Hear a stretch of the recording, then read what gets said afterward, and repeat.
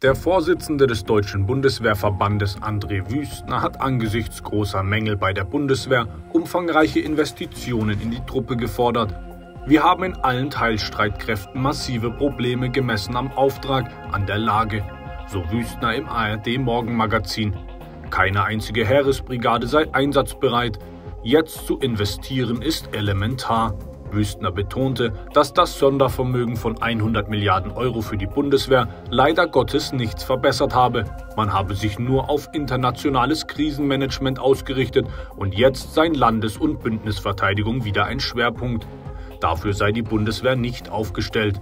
Eva Högel habe schon 2023 von mindestens 300 Milliarden Euro gesprochen, die es dafür brauche. Deswegen ist 2024 ein Schlüsseljahr für die Bundeswehr, für Deutschland, für Europa mit Blick auf Frieden und Freiheit.